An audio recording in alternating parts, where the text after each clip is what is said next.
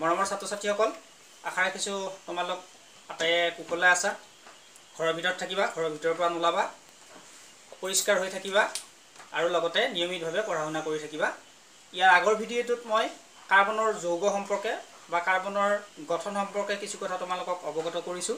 আজি তোমালোকক কাৰ্বনৰ কেইটামান বিশেষ যৌগ সংপৃক্ত যৌগ আৰু অসংপৃক্ত যৌগৰ বিষয়ে ক'বলৈ আগবাঢ়িছোঁ। আশা ৰাখিছোঁ তোমালোক ইয়াৰ পৰা উপকৃত হ'বা। গতিকে আহা আমি এতিয়া আমাৰ ভিডিঅ'টো উপভোগ কৰোঁ। এতিয়া প্ৰথমতে আমি সংপৃক্ত যৌগৰ বিষয়ে আলোচনা কৰোঁ। সংপৃক্ত যৌগ। সংপৃক্ত যৌগত কাৰ্বন কাৰ্বনৰ মাজত একবান্ধনি থাকে। মানে ধৰা হ'ল এটা যিকোনো এটা কাৰ্বনৰ যৌগ। কাৰ্বন দুটাও থাকিব পাৰে তিনিটাও থাকিব পাৰে চাৰিটাও থাকিব পাৰে অসংখ্য থাকিব পাৰে। গতিকে এই ইটো কাৰ্বনৰ লগত সিটো কাৰ্বনৰ লগত একবান্ধনি যদি সৃষ্টি হয় তেতিয়াহ'লে তাক আমি সংপৃক্ত যৌগ বুলি ক'ম। যেনে ইয়াত প্ৰথমটো দেখুৱাইছোঁ কাৰ্বনৰ লগত চাৰিটা হাইড্ৰজেন লগ হৈ আছে অৰ্থাৎ ইয়াত কিন্তু কাৰ্বন এটাই আছে। এই কাৰ্বনৰ চাৰিটা যোজ্যতা মানে বাহিৰৰ কক্ষত থকা চাৰিটা ইলেক্ট্ৰন বাকী চাৰিটা হাইড্ৰজেনৰ সৈতে চাৰিটা হাইড্ৰজেনৰ চাৰিটা ইলেক্ট্ৰনৰ সৈতে ভাগ বতৰা কৰি যৌগটো গঠন হৈছে এইটো হৈছে চি এইচ ফ'ৰ। এইটো প্ৰথমটো যৌগ। তাৰপিছত যদি আমি কাৰ্বনৰ দুটা পৰমাণুৰ কথা বিবেচনা কৰোঁ তেতিয়াহ'লে ইয়াত এইটো এটা কাৰ্বন আৰু এইটো এটা কাৰ্বন। আমি জানো যে প্ৰত্যেকটো কাৰ্বনৰ বাহিৰৰ কক্ষত চাৰিটাকৈ ইলেক্ট্ৰন থাকে সেইকেইটাক যোজ্যতা ইলেক্ট্ৰন বুলি কোৱা হয়। আমি এইটো কথা চাব লাগিব যে যৌগ গঠন হওঁতে প্ৰত্যেকটো কাৰ্বনৰ বাহিৰৰ কক্ষৰ যি চাৰিটা ইলেক্ট্ৰন আছে সেই ইলেক্ট্ৰনকেইটাই বেলেগ কাৰোবাৰ বেলেগ ইলেক্ট্ৰনৰ সৈতে ভাগ বতৰা কৰিছে নে নাই সেই কথাটো আমি চাব লাগিব। বা এইটো কথাও আমি চাব লাগিব যে কাৰ্বনৰ বাহিৰৰ কক্ষটো আঠটা ইলেক্ট্ৰনৰ দ্বাৰা পৰিপূৰ্ণ হৈছে নে নাই। এতিয়া ইয়াত আমি যদি চাওঁ এই কাৰ এইটো কাৰ্বন আৰু এইটো কাৰ্বনৰ মাজত এইযোৰ ইলেক্ট্ৰনে ভাগ বতৰা কৰিছে। অৰ্থাৎ একবান্ধনি হৈছে। বাকী এইটো কাৰ্বনৰ এই তিনিটা থাকিল আৰু এইটো কাৰ্বনৰো এই এটা দুটা এই তিনিটা ইলেক্ট্ৰন থাকিল। এতিয়া এই তিনিটা ইলেক্ট্ৰন আৰু এইফালে তিনিটা ইলেক্ট্ৰনে কি কৰিব? এটা এটা হাইড্ৰজেনৰ সৈতে বান্ধনিৰ সৃষ্টি কৰিব। ইয়াতে হাইড্ৰজেন হাইড্ৰজেনে এটা ইলেক্ট্ৰন লৈ আহিছে ইয়াত হাইড্ৰজেনে এটা ইলেক্ট্ৰন লৈ আহিছে ইয়াতে এটা হাইড্ৰজেনে ইলেক্ট্ৰন লৈ আহিছে। এই হাইড্ৰজেনটোৱেও হিলিয়ামৰ সজ্জা পালে এইটোৱেও হিলিয়ামৰ সজ্জা পালে এইটোৱেও হিলিয়ামৰ সজ্জা পালে কাৰ্বনটোৱে কিহৰ সজ্জা পালে? নিয়নৰ সজ্জা পালে। আমি যদি হিচাপ কৰোঁ কাৰ্বনৰ এই চাৰিটা থাকিলে পাঁচটা ছয়টা সাতটা আৰু এইটো কাৰ্বনৰ এটাৰ লগত আঠটা। অৰ্থাৎ এই কাৰ্বনৰ অক্টেটটো পূৰ্ণ হৈছে। একেধৰণে এইটো কাৰ্বনৰ ক্ষেত্ৰতো যদি চাওঁ এই কাৰ্বনটোৱেও অক্টেটটো পূৰ্ণ কৰিছে। ইয়াৰ সংকেত হৈছে চি টু এইট ছিক্স। যদি তিনিটাৰ ক্ষেত্ৰত চাওঁ একেধৰণে হ'ব। তিনিটা তিনিটা কাৰ্বনৰ মাজত একবান্ধনি একবান্ধনি সৃষ্টি হৈছে।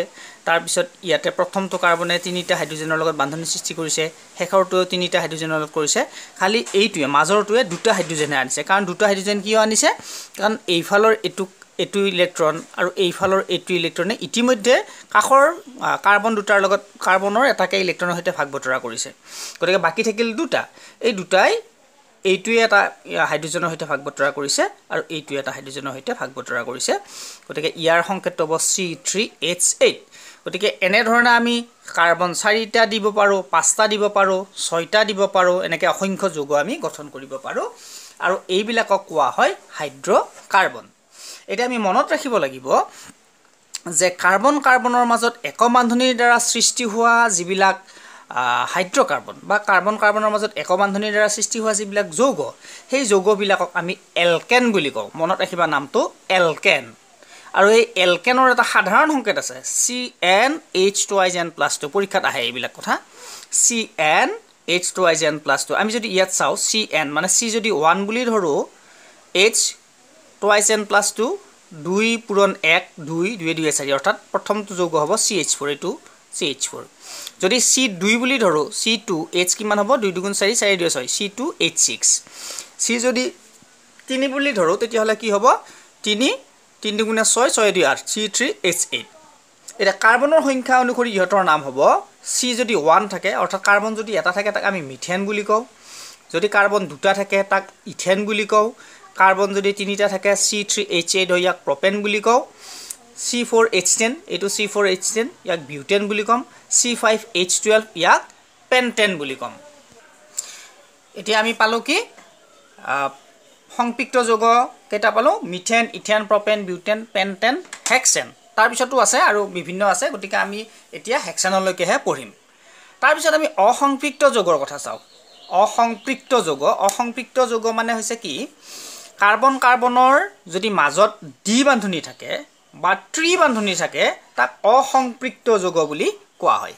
মনত ৰাখিবা অসংপৃক্ত যৌগ যেতিয়া কাৰ্বন কাৰ্বনৰ মাজত ডি বান্ধনি বা ত্ৰি বান্ধনি থাকে। এতিয়া কাৰ্বন কাৰ্বনৰ মাজত ডি বান্ধনি থাকিলে কেনেকুৱা গঠন হয় আমি চাওঁ। এই দুটা কাৰ্বন এইটো এটা কাৰ্বন এইটো এটা কাৰ্বন মাজত ডি বান্ধনি দেখুৱাইছে ডি বান্ধনি। ডি বান্ধনি মানে এইটো কাৰ্বনৰ দুটা ইলেক্ট্ৰন এইটো কাৰ্বনৰ দুটা ইলেক্ট্ৰনে ভাগ বতৰা কৰিছে। বাকী এইটো কাৰ্বনৰ থাকিল কেইটা? দুটা আৰু এইটো কাৰ্বনৰো দুটা ইলেক্ট্ৰন মুক্ত হৈ থাকিল। গতিকে সিহঁতে কি কৰিব? এটা হাইড্ৰজেনৰ সৈতে এইটোৱেই আৰু এটা হাইড্ৰজেনৰ সৈতে এইটোৱেই আকৌ ঠিক তেনেকুৱা এইটো হাইড্ৰজেনে এইটোৰ লগত এইটো হাইড্ৰজেনে এইটোৰ লগত বান্ধনি সৃষ্টি কৰিলে। অৰ্থাৎ কি হ'ল? এইটো কাৰ্বনৰো আঠটা ইলেক্ট্ৰন হ'ল এইটো কাৰ্বনৰো আঠটা ইলেক্ট্ৰন হ'ল আৰু হিলিয়ামৰ কেইটা ইলেক্ট্ৰন হ'ল হাইড্ৰজেনৰ দুটা ইলেক্ট্ৰন হ'ল। হিলিয়ামৰ সজ্জা লাভ কৰিলে। একেধৰণে আমি যদি চাওঁ তিন তিনিটা কাৰ্বন থকা এটা দ্বিবান্ধনিযুক্ত অসংপৃক্ত যৌগ যদি চাওঁ এইটো এটা কাৰ্বন এইটো এটা কাৰ্বন এইটো এটা কাৰ্বন। আমাৰ সাধাৰণতে আমি ভুল কৰোঁ যে ডি বান্ধনি বুলি ক'লে আমি এটা কথা জানো যে যদি এটা এডাল কাৰ্বন শৃংখলত যদি ছয়টা কাৰ্বন থাকে বা সাতটা থাকে দহটা থাকে যিয়ে নাথাকক কিয় আমি ভাবোঁ প্ৰত্যেকটোতে ডি বান্ধনি থাকিব নেকি? এনেধৰণৰ আমাৰ এটা ভুল ধাৰণা এটা থাকে নহয়। সংপৃক্ত যৌগ বা সংপৃক্ত যুগত এক বান্ধনীয়ে থাকিব অসংপৃক্ত যুগত দ্বি বান্ধনীয়ে হওক বা ত্ৰি বান্ধনীয়ে থাকক মাত্ৰ এটাহে থাকিব বান্ধনী দ্বি বান্ধনী বা ত্ৰি বান্ধনী বাকীকেইটা গোটেইবিলাক এক বান্ধনী থাকিব। আমি সেই দ্বি বান্ধনীটো যিকোনো দুটা কাৰ্বনৰ মাজত দিব পাৰোঁ। ইয়াতে মই ইয়াত দেখুৱাইছোঁ দ্বি বান্ধনী। তোমালোকে ইয়াতো দ্বি বান্ধনী আঁকিব পাৰা খালী নিয়মটো জানিলেই হ'ল। এতিয়া মই ইয়াত যেতিয়া দ্বি বান্ধনী দেখুৱাইছোঁ তেতিয়া এইটো কাৰ্বনৰ দুটা আৰু এইটো কাৰ্বনৰ দুটা লোক লাগি বান্ধনীৰ সৃষ্টি কৰিলে। তাৰপিছত এইটো কাৰ্বনৰ মুক্তভাৱে দুটা হৈ থাকিল সেই দুটাই এইটো হাইড্ৰজেনৰ লগত আৰু এইটো হাইড্ৰজেনৰ লগত। আকৌ এইটো কাৰ্বনে কি কৰিছে? ইফালে দুটাৰ লগত বান্ধনি সৃষ্টি কৰিলে এইফালে ওচৰটোৰ লগত এটা বান্ধনি সৃষ্টি কৰিলে। কেইটা গ'ল ইলেক্ট্ৰন? এটা গ'ল দুটা গ'ল তিনিটা গ'ল। মুক্তভাৱে থাকিল এটা। সেই এটাটোৱে এটা ইলেক্ট্ৰনটোৱে এটা হাইড্ৰজেনৰ সৈতে বান্ধনিৰ সৃষ্টি কৰিব। গতিকে এই ইলেক এই কাৰ্বনটোৰো অক্টেট পূৰ্ণ হ'ল। তাৰপিছত থাকিলে এইফালৰ কাৰ্বনটো। ইতিমধ্যে এইফালৰ কাৰ্বনটো এটা ইলেক্ট্ৰনে এইটোৰ লগত ভাগ বতৰা কৰিছে। বাকী থাকিল তিনিটা। সেই তিনিটাই এটাকে হাইড্ৰজেনৰ সৈতে এয়া তিনিটা হাইড্ৰজেনৰ সৈতে ভাগ বতৰা কৰি ই হিলিয়ামৰ সজ্জা লাভ কৰিলে। গতিকে আমি ভুলতো যদি কাৰ্বন শৃংখল পাওঁ তেনেকুৱা দ্বি বান্ধনীযুক্ত কেতিয়াও আমি এই দুটা বান্ধনি নিদিম। দ্বি বান্ধনি দুঠাইত নিদিম এটাতহে দিম। ঠিক তেনেকুৱা ইয়াত আছে কাৰ্বন কেইটা এটা দুটা তিনিটা চাৰিটা আছে। ইয়াত মই মাজত দেখুৱাইছোঁ। তোমালোকে কাষতো দেখুৱাব পাৰা এইফালেও দেখুৱাব পাৰা। য'তে দিলেও য'তে দিলেও খালী কি হ'ব এইটো কথা চিন্তা কৰিবা যে কাৰ্বনৰ যাতে চাৰিওটা যোজ্যতা বেলেগ ইলেক্ট্ৰনৰ সৈতে বান্ধ খাই থাকে। এতিয়া ইয়াত ডাবল বান্ধ আছিলে ডাবল বন্ধ থকাৰ কাৰণে এই দুটা ইলেক্ট্ৰন এই দুটা ইলেক্ট্ৰনৰ সৈতে ভাগ বতৰা কৰিলে এইফালে এটা থাকিল এইফালে এটা থাকিল এইটোৱে কাষৰটোৰ লগত কৰিব আকৌ এইটোৱে এইফালৰ কাষৰটোৰ লগত কৰিব কৰিলে ইয়াৰ এটা ইলেক্ট্ৰন ফ্ৰী থাকিল এই ফ্ৰী ইলেক্ট্ৰনটোৱে হাইড্ৰজেনৰ লগত কৰিলে এইফালে ইয়াৰ ফ্ৰী ইলেক্ট্ৰনটো হাইড্ৰজেনৰ লগত বান্ধনি সৃষ্টি কৰিলে। আৰু এই কাৰ্বন মূৰৰ কাৰ্বন যি দুটা আছে সেই কাৰ্বন দুটাই তিনিটা হাইড্ৰজেন পৰমাণুৰ সৈতে ভাগ বতৰা কৰিলে। ইয়াৰ সংকেতটো আমি পিছত আলোচনা কৰি আছোঁ। এইবাৰ ইয়াত থাকিলে পাঁচটা এটা দুটা তিনিটা চাৰিটা পাঁচটা থাকিলে ঠিক তেনেকুৱা। ইয়াতে পাঁচটাৰ এই দুটাৰ মাজত মই বান্ধনি দিছোঁ দ্বি বান্ধনি। ইয়াৰ দুটাৰ লগত ভাগ বতৰা কৰিছে। এই দুটা ইলেক্ট্ৰনৰ সৈতে ভাগ বতৰা কৰিছে। এইফালে এটা মুখ থাকিল এইটোৱে কাষৰটোৰ লগত এইটোৱে কাষৰটোৰ লগত। ঠিক তেনেকুৱা এনেকুৱাকৈ আমি হেৰি ইলেক্ট্ৰনকেইটা মিলাই দিছোঁ। ইয়াতো ঠিক তেনেকুৱা ছয়টা কাৰ্বন থকা এটা যৌগ ইয়াতো ইলেক্ট্ৰনকেইটা আমি মিলাই দিছোঁ। তোমালোকে চালে ধুনীয়াকৈ গম পাবা। এইবিলাক পৰিষ্কাৰকৈ চাই ল'বা ধুনীয়াকৈ। আৰু এই যিবিলাক যৌগ এই যৌগবিলাকক আমি এলকিন বুলি কওঁ। মনত ৰাখিবা এলকিন প্ৰথমটো আছিলে এলকেন। এক বান্ধনি থাকিলে এলকেন আৰু ডি বান্ধনি থাকিলে এলকিন বুলি কোৱা হয়। আৰু ইয়াৰ সাধাৰণ আণৱিক সংকেত হৈছে C N H twice N C N H twice N মানে চি যদি দুই হয় এইচ টু হয়। ইয়াৰ চি দুটা এইচ চাৰিটা। ডি বান্ধনি ডি বান্ধনি থাকিলে ইয়াৰ সাধাৰণ আণৱিক সংকেত হ'ল C N H twice N এতিয়া চি যদি দুটা থাকে এইচ কেইটা থাকিব দুই দুগুণ চাৰিটা। ইয়াক ইথিন বুলি কোৱা হয়। চি যদি তিনিটা থাকে এইচ ছয়টা থাকিব ইয়াক প্ৰপিন বুলি কোৱা হয়। চি যদি চাৰিটা থাকে এইচ আঠটা থাকিব ইয়াক বিউটিন বুলি কোৱা হয়। চি ফাইভ এইচ টেন ইয়াক পেণ্টিন বুলি কোৱা হয়। চি ছিক্স এইচ টুৱেল্ভ ইয়াক হেক্সিন বুলি কোৱা হয়। এইবাৰ আমি আলোচনা কৰিম কাৰ্বন কাৰ্বনৰ মাজত ত্ৰি বান্ধনি থকা যৌগ। কাৰ্বনৰ কাৰ্বনৰ মাজত ত্ৰি বান্ধনি থাকিলে এনেকুৱা ধৰণৰ হ'ব। দুটা কাৰ্বন থাকিল এই দুটা কাৰ্বনৰ এই দুটাৰ মাজত তিনিটাকৈ ইলেক্ট্ৰনে ভাগ বতৰা কৰিছে। এটা ইলেক্ট্ৰন এইফালে ফ্ৰী থাকিলে সেই ফ্ৰী থকা ইলেক্ট্ৰনটো এটা হাইড্ৰজেনৰ লগত এইফালৰটো এটা হাইড্ৰজেনৰ লগত। ইয়াত তিনিটা কাৰ্বন আছে ইয়াৰে দুটা কাৰ্বনৰ মাজত ত্ৰি বান্ধনি আৰু এই দুটাৰ মাজত কি হ'ব? একা বান্ধনিয়ে হ'ব।